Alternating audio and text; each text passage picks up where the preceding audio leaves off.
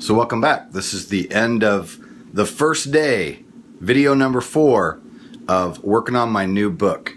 So the first three videos I showed you about the transcriptions and downloading them and making my book. And I already uh, showed you in the earlier video how I put it together. So I made three copies of these earlier today.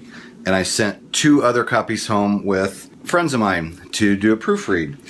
So since the last video, my transcription has sent me two more transcriptions. So I have six chapters. Each transcription is one chapter.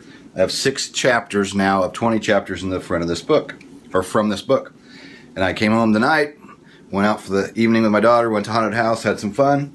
And now, after she went to bed, I came home and did my first reading. So basically, I just go through page by page, now seeing it in a book form versus a electronic format.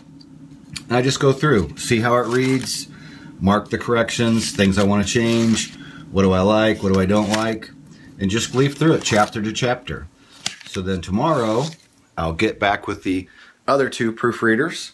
I'll go through with each one, we'll go through them together, and I'll see if we both caught the same thing that needs changed, or they may see something that I didn't see.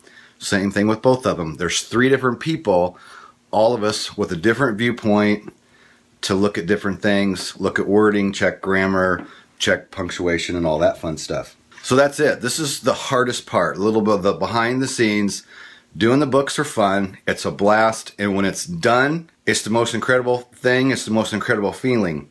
So this is the hardest part, the proofreading and editing. It is a little time consuming, but it's worth it in the end, considering I'm going to take this and turn it into a Kindle book and a paperback.